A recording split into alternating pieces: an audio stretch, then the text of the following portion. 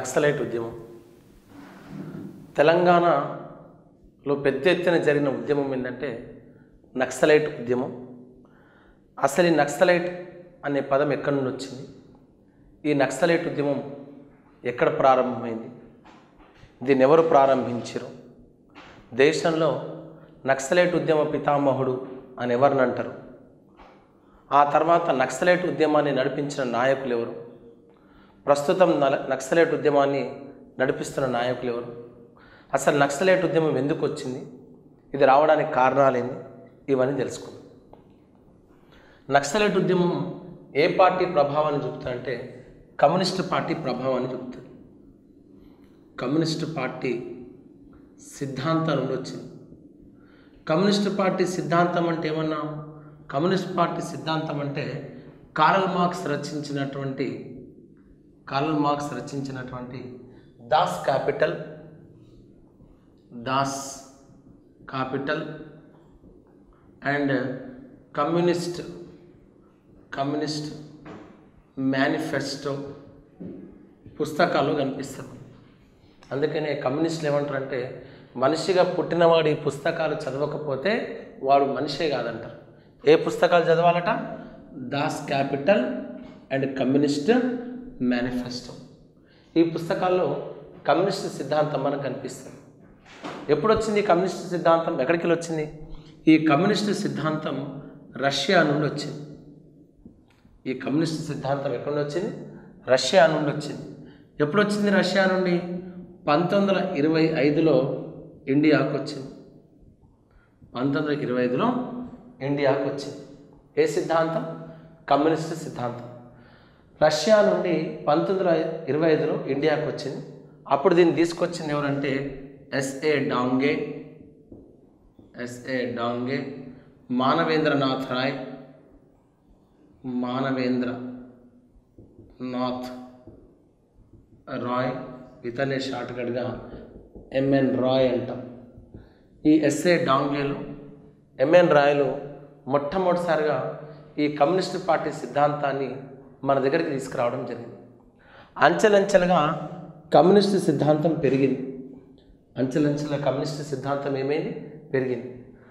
Nineteen మన దగ్గర nineteen thirty ఎయిట్లో నైన్టీన్ థర్టీ ఎయిట్లో నాగ్పూర్ వెళ్ళినటువంటి నాగ్పూర్ వెళ్ళిన మన హైదరాబాద్ విద్యార్థులు హైదరాబాద్ విద్యార్థులు డివి దేవులపల్లి వెంకటేశ్వరరావు. దేవులపల్లి వెంకటేశ్వరరావు. లాంటి వాళ్ళు ఈ సిద్ధాంతానికి బాగా ఆకర్షితులయ్యారు. ఏ సిద్ధాంతానికి? ఈ దేవులపల్లి వెంకటేశ్వరరావు కారల్ మార్క్స్ రచించినటువంటి కమ్యూనిస్ట్ మేనిఫెస్టో దాస్ క్యాపిటల్ లాంటి పుస్తకాలతోని బాగా ప్రభావితమైంది. నాగ్పూర్ వెళ్ళినటువంటి మన విద్యార్థులు అంటే ఒకవైపు గాంధీ సాహిత్యం నడుస్తుంది. ఇంకోవైపు కార్ల్ మార్క్స్ సాహిత్యం నడుస్తుంది. నైన్టీన్ థర్టీ నైన్లో నైన్టీన్ థర్టీ నైన్లో తెలంగాణలో మగ్దుమ్ మొహినుద్దీన్ మగ్దుమ్ మొహినుద్దీన్ రావి నారాయణ రెడ్డి రావి నారాయణ రెడ్డి దేవులపల్లి వెంకటేశ్వరరావు ఆరుట్ల రామచంద్రారెడ్డి ఆరుట్ల రామచంద్రారెడ్డి లాంటి వాళ్ళంతా కూడా కమ్యూనిస్ట్ పార్టీని ఏర్పాటు చేశారు. అంటే ఇండియాలో నైన్టీన్ ట్వంటీ ఫైవ్లో వచ్చింది తెలంగాణలో నైన్టీన్ థర్టీ నైన్లో కమ్యూనిస్ట్ పార్టీ పురుడు పోసుకుంది. కమ్యూనిస్ట్ పార్టీ ఏర్పడింది. ఎప్పుడైతే కమ్యూనిస్ట్ పార్టీ ఏర్పడిందో నైన్టీన్ ట్వంటీ ఫైవ్లో ఇండియాలో వచ్చింది నైన్టీన్ థర్టీ నైన్లో తెలంగాణకు వచ్చింది. ఎప్పుడైతే ఈ కమ్యూనిస్ట్ పార్టీ ప్రభావం ఏర్పడిందో ఆలోచన విధానంలో మార్పు వచ్చింది. అప్పటి వరకు అప్పటి వరకు ఏముండే అంటే నిజాంను వ్యతిరేకించాలా రజాకారులను వ్యతిరేకించాలా గడీలను వ్యతిరేకించాలన్న. ఎప్పుడైతే కమ్యూనిస్ట్ సిద్ధాంత ప్రభావం వచ్చిందో ఈ పెట్టుబడిదారీ వ్యవస్థను వ్యతిరేకించాలి మహిళా సమస్యలను పట్టించుకోవాలి దొరల అరాచకాలను అడ్డుకోవాలి పెట్టుబడి విధానం నశించాలి పనికి సమాన వేతనం లభించాలి స్త్రీ పురుషులనే తేడా ఉండొద్దు అవును? సమ సమాజ స్థాపన జరగాలి అనే విధానాలు బయటకు వచ్చింది అంటే కమ్యూనిస్ట్ పార్టీ ఏమంటుంది? ఏమంటుంది? సమసమాజ స్థాపన జరగాలి. ధనిక పేద అనే వర్గాలు ఉండదు అందరూ సమానమే అనే సిద్ధాంతం మన దగ్గరకు వచ్చింది. ఆ తర్వాత భారతదేశ స్వాతంత్ర ఉద్యమం పెద్ద ఎత్తున జరిగింది. కమ్యూనిస్ట్ పార్టీ కమ్యూనిస్ట్ పార్టీ అవునా? ఇండియాలో ఇండియాలో తెలంగాణలో పెద్ద ఎత్తున పోరాటం చేసింది. పెద్ద ఎత్తున పోరాటం చేసింది. ఇండియాలో అయితే స్వాతంత్ర పోరాటం చేసింది. తెలంగాణలో అయితే సాయుధ పోరాటం చేసింది. తెలంగాణలో అయితే పోరాటం చేసింది? సాయుధ పోరాటం చేసింది. పెద్ద ఎత్తున పెద్ద ఎత్తున నైన్టీన్ ఫార్టీ సిక్స్ నుండి నైన్టీన్ ఫిఫ్టీ వన్ వరకు తెలంగాణలో నైన్టీన్ ఫార్టీ సిక్స్ నుండి నైన్టీన్ ఫిఫ్టీ వన్ వరకు పెద్ద ఎత్తున తెలంగాణ సాయుధ పోరాటం జరిగింది. ఈ సాయుధ పోరాటంలో నాలుగు వేల ఐదు వందల మంది రైతులు తమ ప్రాణాలు కోల్పోయారు. ఎంతమంది రైతులు? నాలుగు వేల ఐదు వందల మై- మంది రైతులు తమ యొక్క ప్రాణాలు కోల్పోతే కమ్యూనిస్ట్ పార్టీ ఆ ఉద్యమానికి అండగా నిలబడి దున్నేవానిదే భూమి అనే నినాదం ఇచ్చింది. ఏం నినాదం ఇచ్చింది? దున్నేవానిదే భూమి అనే నినాదంతో ఇక్కడ ఉన్నటువంటి భూస్వాములకు వ్యతిరేకంగా సాయుధ పోరాటం ఎవరికి వ్యతిరేకంగా జరిగింది? ఇక్కడ ఉన్నటువంటి భూస్వాములకు వ్యతిరేకంగా గడీలకు వ్యతిరేకంగా రజాకారులకు వ్యతిరేకంగా నిజాంకు వ్యతిరేకంగా పెద్ద ఎత్తున పోరాటం జరిగింది. ఆ పోరాట ఫలితంగా మనకు స్వాతంత్రం వచ్చింది. ఇండియాకైతే నైన్టీన్ ఫార్టీ సెవెన్లో స్వాతంత్రం వచ్చింది. మనకు నైన్టీన్ ఫార్టీ ఎయిట్ సెప్టెంబర్ పదిహేడు నాడు వచ్చింది. ఇండియాకైతే నైన్టీన్ ఫార్టీ సెవెన్ ఆగస్టు పదిహేను నాడు స్వాతంత్రం వచ్చింది. ఇక్కడ సాయుధ పోరాటం ఆగిపోయింది. ఎప్పుడు ఆగిపోయింది సాయుధ పోరాటం? అడిగిన మనం. సాయుధ పోరాటం సాయుధ పోరాటం నైన్టీన్ ఫిఫ్టీ వన్ అక్టోబర్ ఇరవై ఒకటి నాడు సాయుధ పోరాటం ఆగిపోయింది. ఎప్పుడైతే నైన్టీన్ ఫిఫ్టీ వన్ అక్టోబర్ ఇరవై ఒకటి నాడు సాయుధ పోరాటం ఆగిపోయిందో దేశంలో మొట్టమొదటిసారిగా ఎన్నికలు వచ్చినాయి. ఎప్పుడు వచ్చిన ఎన్నికలు? చెప్తారు ఒకసారి. ఈ సిద్ధాంతం కమ్యూనిస్ట్ సిద్ధాంతం ఎక్కడికి వెళ్ళి వచ్చింది రష్యా నుండి వచ్చింది. ఇండియాకి ఎప్పుడు వచ్చింది? నైన్టీన్ ట్వంటీ ఫైవ్లో వచ్చింది. ఎవరు దాన్ని స్థాపించింది? S A Dange and M N Roy. తెలంగాణకి ఎప్పుడు వచ్చింది? నైన్టీన్ థర్టీ నైన్లో వచ్చింది. నాగ్పూర్ చదువుకోవడానికి వెళ్ళినటువంటి మన విద్యార్థులు కమ్యూనిస్ట్ పుస్తకాలైనటువంటి కారల్ మార్క్స్ రచించిన దాస్ క్యాపిటల్ కమ్యూనిస్ట్ మేనిఫెస్టో అనే పుస్తకాల ద్వారా ప్రభావితమై ఇక్కడికి వచ్చిన తర్వాత ప్రపంచ బాధ మన బాధ పెట్టుబడిదారి విధానం నశించాలి సమ సమాజ స్థాపన జరగాలి స్త్రీ పురుషులనే భేదభావం పోవాలి ఈ భూస్వామ్య వ్యవస్థ పోవాలని చెప్పేసి పెద్ద ఎత్తున తెలంగాణ రైతాంగ సాయుధ పోరాటం చేశారు. నైన్టీన్ ఫిఫ్టీ వన్ అక్టోబర్ ఇరవై ఒకటి నాడు రష్యాలో ఉన్నటువంటి రష్యాలో ఉన్నటువంటి కమ్యూనిస్ట్ పార్టీ కార్యదర్శి స్టాలిన్ విజ్ఞప్తి మేరకు ఇక్కడ సాయుధ పోరాటాన్ని ఆపేసింది అంటే తెలంగాణలో ఇండియాలో ఉన్నటువంటి కమ్యూనిస్ట్ పార్టీ రష్యా యొక్క ఆదేశానుసారమే నడిచింది. అంటే మనం ఇక్కడ ఏ నిర్ణయం తీసుకున్నా రష్యాతోనే సంబంధంగా ఉండేది. అట్లా కమ్యూనిస్ట్ పార్టీ సాయుధ పోరాటాన్ని ఆపేసింది. సాయుధ పోరాటాన్ని ఆపేసిన తర్వాత దేశంలో ఎన్నికలు వచ్చినాయి దేశంలో ఏమొచ్చినాయి? ఎన్నికలు వచ్చినాయి నైన్టీన్ ఫిఫ్టీ టూలో ఎన్నికలు వస్తే నైన్టీన్ ఫిఫ్టీ టూలో ఎన్నికలు వస్తే రాష్ట్రంలో అటు కేంద్రంలో రాష్ట్రంలో మరియు కేంద్రంలో కమ్యూనిస్ట్ పార్టీ అతిపెద్ద పార్టీగా అవతరించి ప్రతిపక్ష హోదాను సంపాదించుకుంది. అవును. నైన్టీన్ ఫిఫ్టీ టూలో ఎన్నికలు జరిగినాయి. నైన్టీన్ ఫిఫ్టీ టూలో ఎన్నికలు జరిగినాయి. అవును. అటు కేంద్రంలో కేంద్రంలో అవును. ఇండియన్ నేషనల్ కాంగ్రెస్ గవర్నమెంట్ని ఏర్పాటు చేసింది నెహ్రూ ప్రధాని అవును? రాష్ట్రంలో రాష్ట్రంలో హెచ్ఎస్సి ప్రభుత్వాన్ని ఏర్పాటు చేసింది బూరుగుల రామకృష్ణారావు ఏమైనా? బూరుగుల రామకృష్ణారావు ముఖ్యమంత్రి అయిన. కానీ కేంద్రంలో రాష్ట్రంలో ప్రతిపక్ష పార్టీ అటు కేంద్రంలో ఇటు రాష్ట్రంలో ప్రతిపక్ష పార్టీ ఏదంటే అది కమ్యూనిస్ట్ పార్టీగా ఏర్పడింది. ఏ పార్టీ?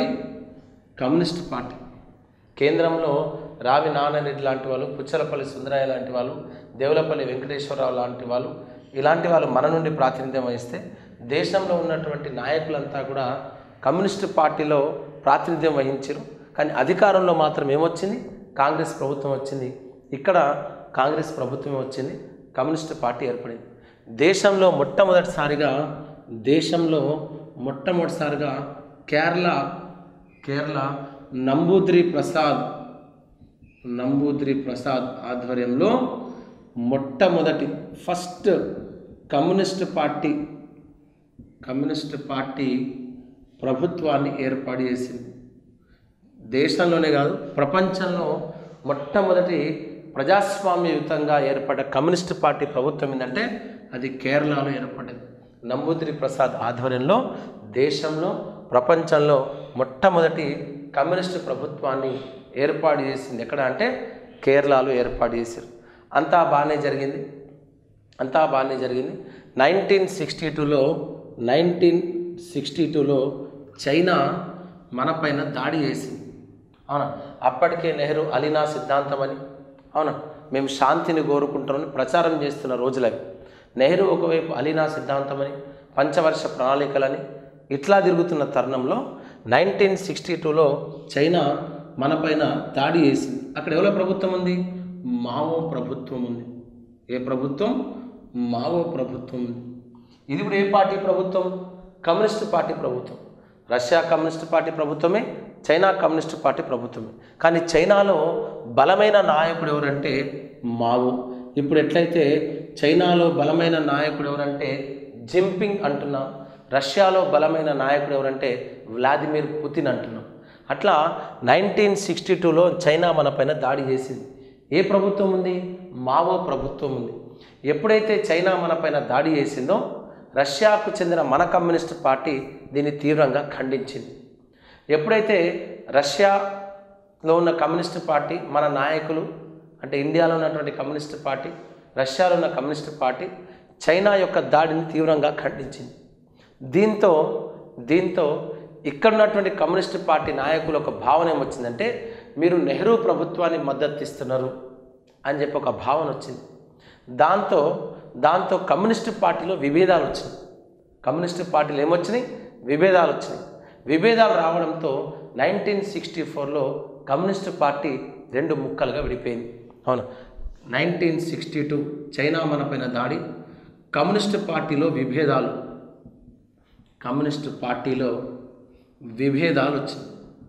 కమ్యూనిస్ట్ పార్టీలో విభేదాలు రావడంతో నైన్టీన్ సిక్స్టీ ఫోర్లో కమ్యూనిస్ట్ పార్టీ రెండు ముక్కలు అయిపోయింది ఒకటి సిపిఐ అది రష్యాకు మద్దతుగా రష్యాకు మద్దతుగా కమ్యూనిజంని మద్దతుగా నిలబడ్డది అది సిపిఐగా మారిపోయింది. అదేవిధంగా CPI communist party of India మార్క్సిస్ట్గా ఇంకో పార్టీ అవతరించింది. ఇది చైనా సిద్ధాంతాలకు మద్దతుగా. చైనా దేశానికి కదండి. చైనా మావో సిద్ధాంతాలకు మద్దతుగా ఇలా రష్యా సిద్ధాంతాలకు మద్దతుగా కమ్యూనిస్టు పార్టీ రెండు ముక్కలైపోయింది. సిపిఐ నుండి రావి నారాయణ రెడ్డి లాంటి వాళ్ళు రావి నారాయణ రెడ్డి లాంటి వాళ్ళు పెద్దపీట వేశారు ఈ సిపిఎం పార్టీని ఎవరు స్థాపించారంటే పుచ్చలపల్లి సుందరయ్య లాంటి వాళ్ళు స్థాపించారు. అంటే కమ్యూనిస్ట్ పార్టీ నైన్టీన్ సిక్స్టీ ఫోర్లో రెండు ముక్కలైంది సిపిఐ రష్యాకు మద్దతుగా సిపిఎం చైనా మావో సిద్ధాంతానికి మద్దతుగా దీన్ని ఎవరు ఏర్పాటు చేశారంటే పుచ్చలపల్లి సుందరయ్య లాంటి వాళ్ళు ఏర్పాటు చేశారు అయిపోయింది. కమ్యూనిస్ట్ పార్టీ రెండు ముక్కలు అయిపోయింది నైన్టీన్ సిక్స్టీ సెవెన్లో ఎన్నికలు వచ్చింది నైన్టీన్ సిక్స్టీ సెవెన్లో ఎన్నికలు వచ్చినాయి అవును. నైన్టీన్ సిక్స్టీ సెవెన్ ఇంకోసారి చెప్తున్నాను దేశంలో మొట్టమొదటిసారిగా ఎన్నికలు ఎప్పుడు వచ్చినాయి నైన్టీన్ ఫిఫ్టీ టూలో వచ్చినాయి. అటు కేంద్రంలో ఇండియన్ నేషనల్ కాంగ్రెస్ రాష్ట్రంలో హెచ్ఎస్సి హైదరాబాద్ స్టేట్ కాంగ్రెస్లో ప్రభుత్వాన్ని ఏర్పాటు చేసింది. అటు కేంద్రంలో ఇటు రాష్ట్రంలో కమ్యూనిస్ట్ పార్టీ ప్రతిపక్ష పార్టీ హోదాను సమర్థవంతంగా నిర్వర్తించింది. ఎప్పుడైతే నెహ్రూ ప్రభుత్వం పంచసూత్ర ప్రణాళికలని చెప్పి పంచవర్ష ప్రణాళికలని అలీనా విధానాన్ని అవలంబిస్తున్న తరుణంలో మన పక్కనే ఉన్నటువంటి చైనా నైన్టీన్ సిక్స్టీ టూలో మన పైన దాడి చేసింది. మన భూములను ఆక్రమించే ప్రయత్నం చేసింది. అప్పుడు ఉన్నటువంటి ప్రభుత్వం ఏంటంటే మావో ప్రభుత్వం. ఈ దాడిని దేశంలో ఉన్నటువంటి సిపిఐ పార్టీ తీవ్రంగా ఖండించింది. దీంతో కమ్యూనిస్టు పార్టీలో పెద్ద ఎత్తున విభేదాలు వచ్చినాయి. నెహ్రూ ప్రభుత్వానికి మద్దతు ఇస్తున్నారు అని. కొందరు చైనా యొక్క సిద్ధాంతానికి ప్రభావితమైన అంటే మావో సిద్ధాంతానికి ప్రభావితమై కమ్యూనిస్టు పార్టీలో రోజు రోజుకు విభేదాలు పెరిగినాయి. ఆ విభేదాలు పెరగడంతో నైన్టీన్ సిక్స్టీ ఫోర్లో సిపిఐ రష్యాకు అనుబంధంగా సిపిఎం చైనాకు అనుబంధంగా విడిపోవడం జరిగింది. నైన్టీన్ సిక్స్టీ సెవెన్లో ఎన్నికలు వచ్చినాయి ఎప్పుడు వచ్చిన ఎన్నికలు? నైన్టీన్ సిక్స్టీ సెవెన్లో ఎన్నికలు వచ్చినాయి ఎన్నికలు వచ్చినప్పుడు వెస్ట్ బెంగాల్లో ఉన్నటువంటి వెస్ట్ బెంగాల్లో ఉన్నటువంటి సిపిఎం పార్టీ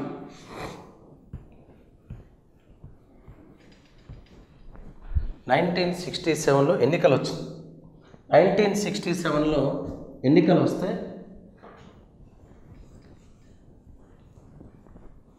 నైన్టీన్ సిక్స్టీ సెవెన్లో ఎన్నికలు వచ్చింది ఎన్నికలు వస్తే ఏం జరిగింది? వెస్ట్ బెంగాల్లో వెస్ట్ బెంగాల్లో ఉన్నటువంటి సిపిఎం పార్టీ అన్న సిపిఐఎంని ఇట్లా షార్ట్కట్గా ఏమని రాస్తున్నా? సిపిఎంగా రాస్తున్నా. అవును వెస్ట్ బెంగాల్లో ఉన్నటువంటి సిపిఎం పార్టీ ఏమన్నదంటే మమ్మల్ని అధికారంలోకి గెలిపించండి. మేము గనక అధికారంలో వస్తే వెస్ట్ బెంగాల్లో ఉన్నటువంటి లక్షల ఎకరాల భూమిని పేదలకు పంచి పెడతాం అని ఎన్నికల ప్రచారంలో హామీ ఇచ్చింది. దాంతో ప్రజలందరూ ఏం చేశారు సిపిఎం పార్టీకి పట్టం కట్టిరు అంటే నైన్టీన్ సిక్స్టీ సెవెన్లో ఎన్నికలు జరిగినాయి. అవునా? నైన్టీన్ సిక్స్టీ సెవెన్లో ఎన్నికలు జరిగినాయి. ఈ ఎన్నికల్లో వెస్ట్ బెంగాల్లో ఏ ప్రభుత్వం ఏర్పడింది? సిపిఎం ప్రభుత్వం ఏర్పడింది. ఏ ప్రభుత్వం? సిపిఎం ప్రభుత్వం ఏర్పాటు. ఎట్లా ఏర్పాటు జరిగింది? పేదలకు ఏం చేస్తానది? భూములు పంచుతా అన్నది. భూములు పంచుతా అని చెప్పేసి అన్నది. మన దగ్గర దొరగారు ఏమన్నాను తెలంగాణ రాగానే నక్సలైట్ల విధానమే మా విధానం. నక్సలైట్లు కూడా పేదలకు భూములు వంచమంటారు. మా తెలంగాణ టీఆర్ఎస్ ప్రభుత్వం కూడా పేదలకు భూములు వంచుతుంది. దళితులందరికీ మూడెకరాల భూమి వంచుతామని చెప్పి ఇప్పటిదాకా ఐదు వేల ఎకరాలు వంచిరు అవునా. కానీ పేదలకు మాత్రం ఇప్పటిదాకా భూ పంపిణీ జరగలేదు. ఆనాడు కూడా నైన్టీన్ సిక్స్టీ సెవెన్లో వెస్ట్ బెంగాల్లో ప్రభుత్వాన్ని ఏర్పాటు చేసినటువంటి సిపిఎం ఏమన్నదంటే మమ్మల్ని ఎన్నికల్లో గెలిపిస్తే పేదలకు భూములు పంచుతాను. పంచిదామల భూములు? పంచలే. ఏమైంది? నైన్టీన్ సిక్స్టీ సెవెన్లో పేదలకు భూములు పంచకపోవడంతో నైన్టీన్ సిక్స్టీ సెవెన్లో వెస్ట్ బెంగాల్లోని వెస్ట్ బెంగాల్లోని డార్జిలింగ్ జిల్లాలోని వెస్ట్ బెంగాల్లోని డార్జిలింగ్ జిల్లాలోని సిలిగురి సిలిగురి సిలిగురి ప్రాంతంలోని సిలిగురి ప్రాంతంలోని నక్సల్బరి అనే గ్రామంలో నక్సల్ బరి అనే గ్రామంలో కొంతమంది మహిళలు నక్సల్ బరి అనే గ్రామంలో కొంతమంది మహిళలు ప్రసాద్ జ్యోతే జ్యోతి అంటే జమీందార్. ప్రసాద్ జ్యోతి అనే జమీందారు యొక్క పొలంలో ఖాళీగా ఉన్న భూముల్లో సిపిఎం జెండాలను పాతి పెట్టుకున్నారు. సిపిఎం జెండాలను పాతి పెట్టుకుంటే అప్పుడు అధికారంలో ప్రభుత్వం ఎవరిది? సిపిఎం పార్టీది ఎవరు ఇక్కడ ఉన్నటువంటి సీఎం? అజయ్ ముఖర్జీ. అప్పుడున్నటువంటి సీఎం ఎవరు? అజయ్ ముఖర్జీ. హోంమంత్రి ఎవరున్నారు? జ్యోతి బసు. జ్యోతి బసు. అధికారంలో ఉన్నటువంటి జ్యోతి బసు హోంమంత్రి. అధికారంలో ఉన్నటువంటి ముఖ్యమంత్రి అజయ్ ముఖర్జీ పేదలకు భూములు వంచుతాను. మళ్ళీ పేదలకు భూములు వంచినా పంచలే. పేదలకు భూములు వంచకపోవడంతో నైన్టీన్ సిక్స్టీ సెవెన్లో నక్సల్బరి అనే గ్రామంలో కొంతమంది మహిళలు ఎర్ర జెండాలను పాతిపెట్టారు. విషయం తెలుసుకున్న ప్రభుత్వం ఏం చేయాలా? ఆ జెండాలను తీసేయాలా? ఆ పేదలకు భూములు ఎక్కడో ఒక దగ్గర చూపించాలి కానీ ప్రభుత్వం ఏం చేసింది? అలాంటిది ఏం చేయకుండా ఎవరైతే ఎవరైతే ఆ భూముల్లో కబ్జాకు ప్రయత్నించారో అంటే పేదలకే భూములు వస్తారు కాబట్టి ఆ భూములను స్వాధీనం ప్రయత్నించారో ఆ పిల్లల్ని మహిళలపైన కాల్పులు జరిపారు.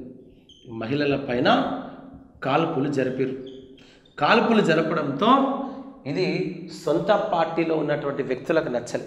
అసలు ప్రభుత్వమే భూములు పంచుతా అన్నది ప్రభుత్వమే పేదలకు భూములు వంచుతా అని ఇలా భూములు అడిగినందుకు ఏం చేసింది? అమాయకులైనటువంటి ప్రజలపైన కాల్పులు జరిపింది. పిల్లలు మహిళలను చూడకుండా ప్రభుత్వం కాల్పులు జరిపింది. అంటే ప్రభుత్వం ఇచ్చిన మాట తప్పింది అని గుర్తించినటువంటి సిపిఎం పార్టీకి చెందిన కార్యదర్శి సిపిఎం పార్టీకి చెందిన కార్యదర్శి సిపిఎం పార్టీకి చెందిన కార్యదర్శి చారు మజుందార్. చారు మజుందార్ ప్రభుత్వాన్ని వ్యతిరేకించింది చారు మజుందార్ ప్రభుత్వాన్ని వ్యతిరేకించి ఈ ఈ సంఘటన నక్సల్బరీ గ్రామంలో జరిగింది కాబట్టి ఈ ఉద్యమానికి ఏమని పేరు పెట్టిండు? నక్సలైట్ లేదా నక్సల్బరీ నక్సల్బరీ ఉద్యమంగా పేర్కొన్నాడు. అవునా? మనకు అడిగిన ఎగ్జామ్లో. నక్సల్బరీ ఉద్యమ పితామహుడు ఎవరు అంటే? చారు మజుందార్. నక్సలైట్ ఉద్యమం ఎక్కడ ప్రారంభమైందంటే వెస్ట్ బెంగాల్లోని డార్జిలింగ్ జిల్లాలోని సిలిగురి ప్రాంతంలోని నక్సల్బరి అనే గ్రామంలో ప్రారంభమైంది కాబట్టి దీన్ని ఏ ఉద్యమం అన్నాం నక్సలైట్ ఉద్యమం అన్నాం ఎవరు ప్రారంభించారు? చారు మజుందార్. ఏ సంవత్సరంలో ప్రారంభమైంది? నైన్టీన్ సిక్స్టీ సెవెన్లో పెద్ద ఎత్తున ప్రారంభమైంది.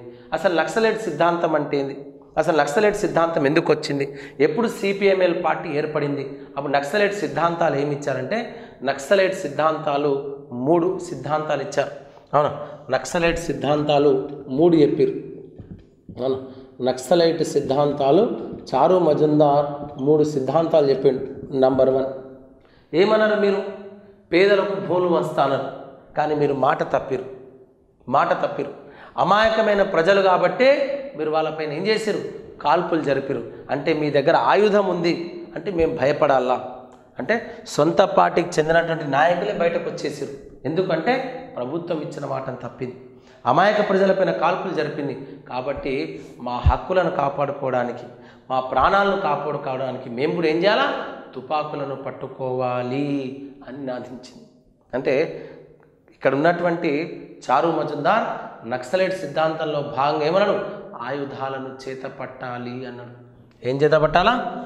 ఆయుధాలను ఆయుధాలను ఏం చేయాలా చేతబట్టాలి. అవసరమైతే మన ప్రాణాలను కాపాడుకోవడానికి ఏం పట్టుకోవాలా? ఆయుధం పట్టుకోవాలా? ప్రభుత్వం దగ్గర దొరల దగ్గర తుపాకులు ఉన్నాయి కాబట్టే వాళ్ళు మనల్ని పిట్టల్నిగా కాల్చినట్టుగా కాల్చిపడేసారు అదే మన దగ్గర ఆయుధం ఉంటే వాళ్ళు మనల్ని కాల్చి చంపేవారా?